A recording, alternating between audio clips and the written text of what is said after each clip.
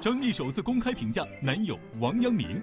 他很干净，他他整整个状态、整个思想和瞳孔，你都觉得特别干净。你怎么了？那表情？线啊！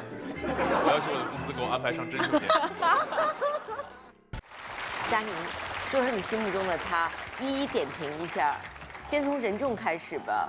嗯，百科全书，然后暖男，知识面特别广，是吧？我崇拜的那么一个。知识面广的人有两种，一种是你问他他才说，还有一种你不问他，他一直也在说，他是哪种？可能是。这个好像。这个这个问题抛出来很有引导性。不问他，他可能也也就是他不是，他是看到你遇到困难了，他可能觉得我不太好意思去问他，他就会说啊，我可以帮你出出主意。什么都知道，真的。最让你惊惊诧的是，他都知道什么？最让我惊诧的是昨天我听到的一件事儿，是说任重哥哥竟然知道东北的蚊子跟南方的蚊子叮人是有区别的。这是个其实是个笑话来，因为大家工作时候呢比较累，急诊室里有很多蚊子，因为我们夏天嘛，于是乎呢蚊子叮我们，我就说，哎，你知道吗？这个北方的蚊子叮人是跟南方蚊子是不一样的。然后我就模拟了一下两只蚊子的区别。北方怎么叮？OK，是这样的，需要表演。这个北方的蚊子呢有点笨，就属于要落稳了之后呢才作。南方的蚊子不是动作比较敏捷，我先来一下这北方蚊子啊。北方蚊子是飞，飞进落稳了，落稳，落稳，落稳了，落稳了。南南方蚊子不是，南方蚊子是这样的，南方蚊子动作非常快，没落稳之前你就作完了。嗯，别走了。暖男呢？你像我们每天吃同样的早餐，大概有快一个月了以后，才发现原来任重哥哥的早餐有包子。任重哥哥，你的包子从哪来的？他说，嗯，买的。从那以后，每天早上我们就会点餐，点餐啊，要什么包子、油条、豆浆的呀、馅饼啊，都是任重哥哥，然后他们买回来一起吃。我哦，你原来只给自己买是吧？是你想。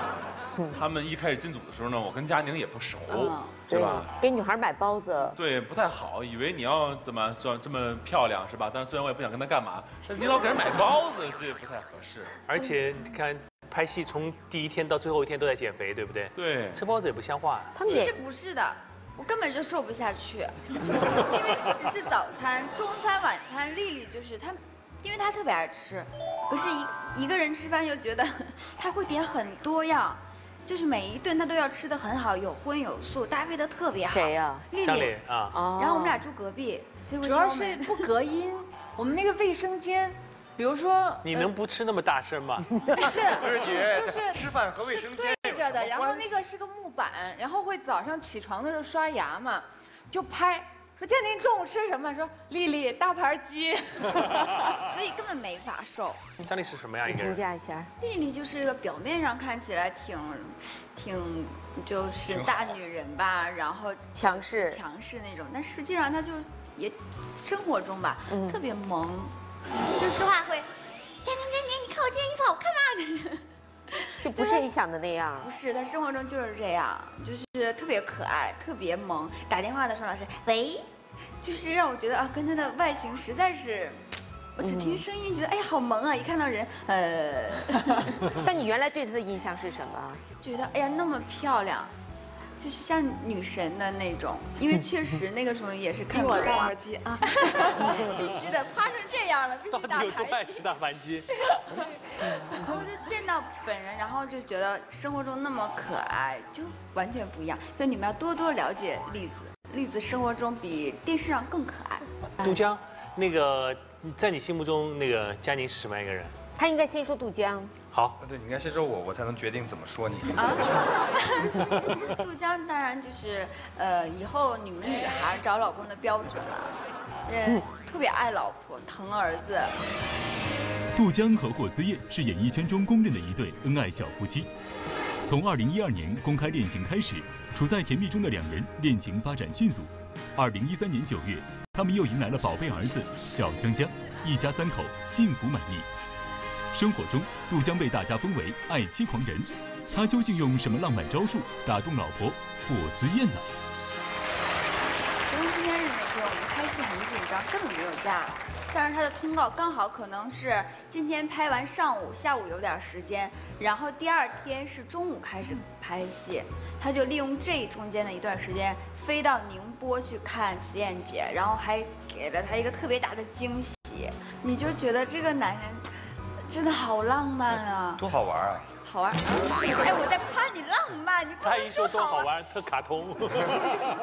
他知道吗？不知道，他给所有身边的人说，你们千万不要告诉他，就给了他一个惊喜。然后因为时间实在太紧张，我就开车去的机场，把车停在停车场，我让朋友帮我从市区买了束花，因为真的来不及买花，嗯也真的来不及准备礼物，然后就那个朋友也很哥们儿，就到机场，我人到，他花也到，我拿着花上飞机，然后我先买通他们那边剧组的人，知道他们在哪儿拍戏，我就直接到他们现场，吓坏了吧？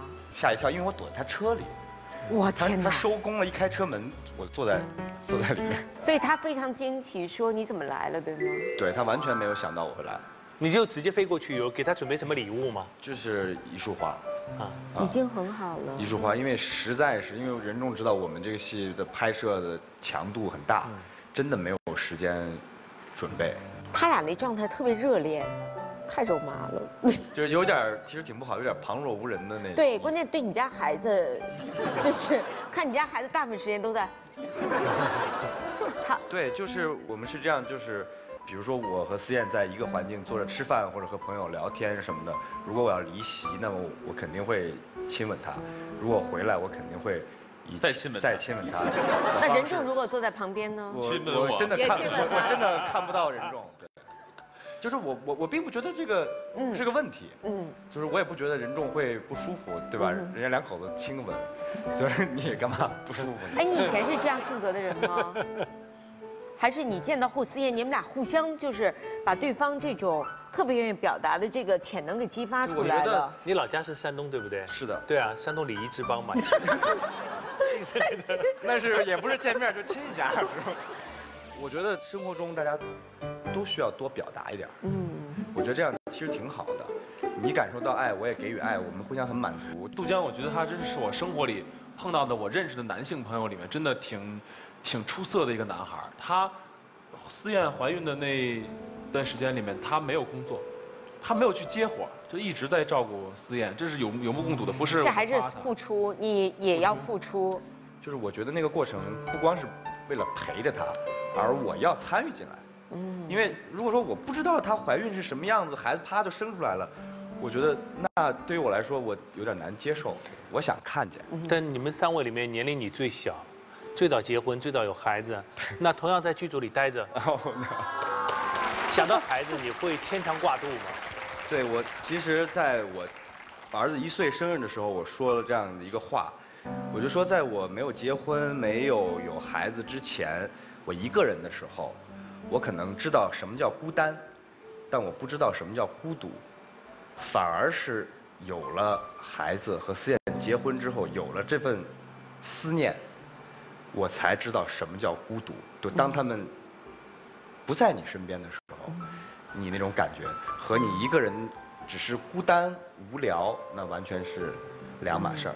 你知道什么叫孤独？对，我现在知道什么叫孤独。任重，你知道什么叫孤独吗？不知道。你现在这样的看着人家，你孤单吗？对，我很孤单。你看，想一个得有一个多孤单的人才会研究南北方文字的差异。